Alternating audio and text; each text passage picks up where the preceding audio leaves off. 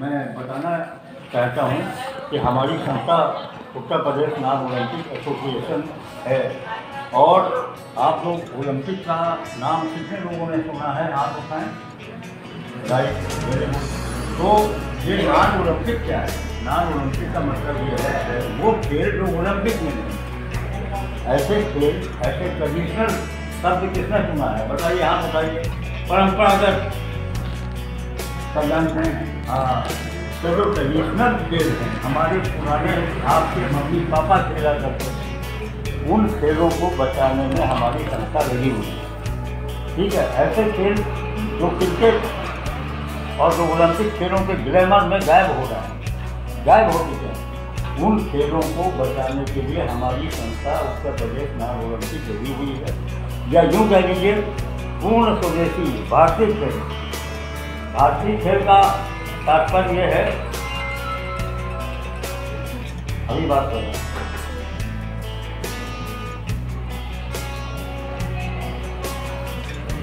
रहे तो भारतीय खेल का मतलब ये हुआ कि वो खेल जो प्राचीन है, वो खेल जो हमारे ट्रेडिशन के हैं।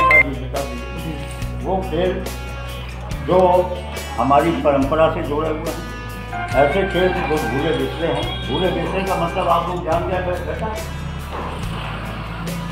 हाँ मतलब आजकल क्रिकेट, फुटबॉल, हॉकी जिनको यही खेल सब लोग जानते हैं। लेकिन बहुत ऐसे खेल हैं जो आपको और हमारे खेल जो हैं, बिना किसी संसाधन के खेले जा सकते हैं। आपको कितने बच्चों ने यह पढ़ा है कि नई शिक्षा नीति में हमारे परंपरागत खेल शामिल हुए हैं। हाथ बताइए हाथ उठा के बताइए, कितने बच्चों ने ये हमारे प्रधानमंत्री ने कहा है कि नई शिक्षा नीति में जो आ रहे, आ गई है, उसमें हमारे भारतीय खेल शामिल होंगे। कोई बच्चे ने अखबार पढ़ा है किसी, कोई? नहीं आप लोगों ने ये टीवी पे न्यूज़ सुनी कि नहीं सुनी?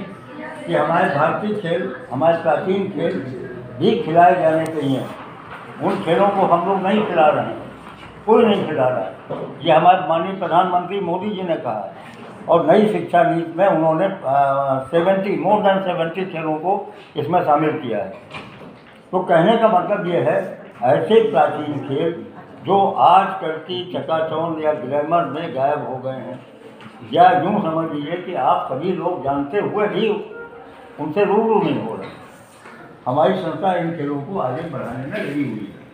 मैं आपको चाहूँगा, हमारे भाई तरफ़ आदरणीय ए के राजादा साहब मौजूद हैं। ये उत्तर प्रदेश सतगंज के जनरल सेक्रेटरी हैं यूपी चेस स्पोर्ट एसोसिएशन के, ठीक है?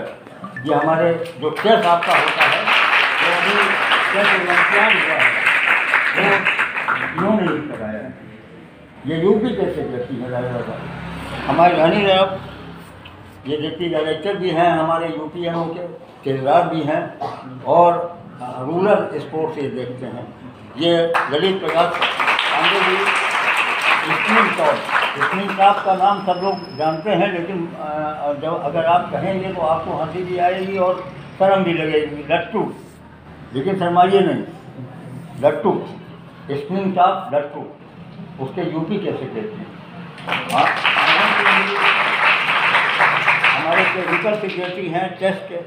ठीक है तो आपके सामने जो आज हम लोग आए हैं, उसका मेन एम यही है कि आपके कॉलेज में जो हमारे प्राचीन खेल हैं, भारतीय खेल हैं, इनको आप लोगों को बताएँ और एक दिन की एक प्रतियोगिता कराई जाए।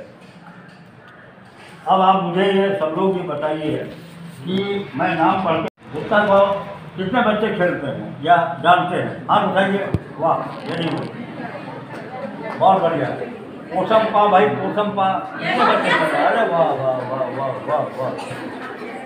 घोड़ा जमाल खाए, कितने जानते हैं? अरे वाह तीन टांग की दौड़। क्या बात है वेरी गुड रस्सी कूद। क्या बात है भाई, वाह। खिचड़ी जिप्पर क्या बात है वेरी गुड रिपीट अप।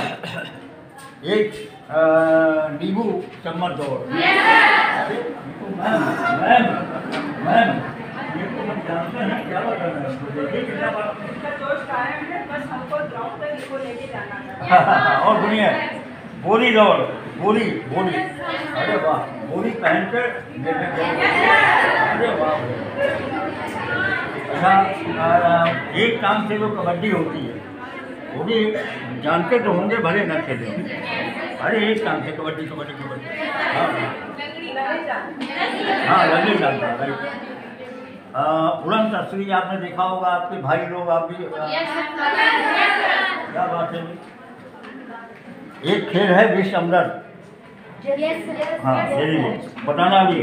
अभी सबको बताइए क्या होता है। एक गोपी है। बहुत ही खास खेल है जिसमें गोपियाँ सिर पे घड़े रख के और पानी भर के आप लोग गोपी के जस में पचास मीटर चलेंगी उसमें पर सेकेंड पर होगा। अब बॉल फेंक बॉल क्रिकेट की बॉल फेंकना ठीक है कोई हर आदमी जानता होगा बॉल फेंक फेंका होगा कोई ना कोई क्रिकेट की बॉल स्लो साइकिलिंग एक साइकिलिंग होती है फास्ट अब आपके यहाँ ग्राउंड कम है तो हमें स्लो साइकिलिंग कराना है। गेम भी है कितने लोग जानते हैं? इसमें बैलेंसिंग का काम है। वेरी गुड रुमाल झपट्टा अरे वाह वाह वाह वाह इसमें गोलारा बनाया जाता है। चोर पुलिस। पकड़म पकड़ाई। मेढक कूद गुब्बारे फुलाने की। Musical chair. अंताक्षरी को कहते हैं। सुई में धागा डालना. रंगोली? बहुत बढ़िया। मुट्ठी जम? मुट्ठी जम समझ ये छोटे ग्रुप के लिए। जो कक्षा तीन से नीचे है वो आपके यहाँ नहीं होगा लेकिन आपके यहाँ या तो बड़ा बड़े एज की महिलाएँ हों वो ये एक आगे पैर रखते हैं जो उसको बड़े मुट्ठी साइकिल टायर रेस ये आपका नहीं है लेकिन देहात में होता है बच्चे चलाते हैं। पतंगबाजी से मतलब है नहीं, आप लोगों को रस्सा कसी तगाफार बोलते हैं। हैं? तगाफार कोई जानता है?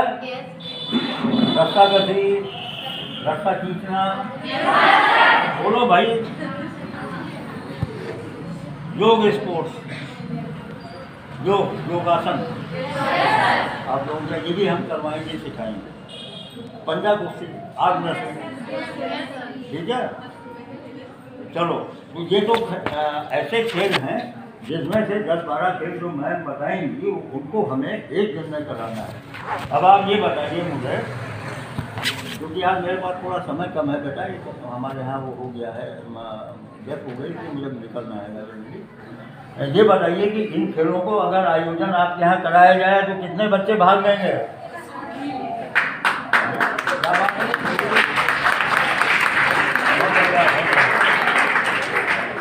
अब आप ये बताइए, अगर इन खेलों को आपके मम्मी पापा के साथ उनको भी खिलाया जाए।